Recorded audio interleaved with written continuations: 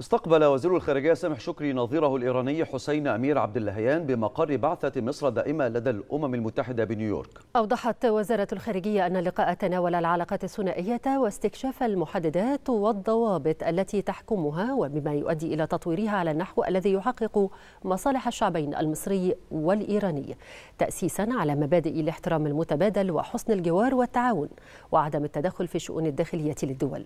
كما أكد الجانبان التطلع نحو الإسهام في تحقيق الاستقرار وتعزيز الأمن في محيطهما الإقليمي. وفي نهاية اللقاء اتفق الجانبان على استمرار التواصل بينهما لمتابعة الحوار حول مختلف الموضوعات التي تهم البلدين.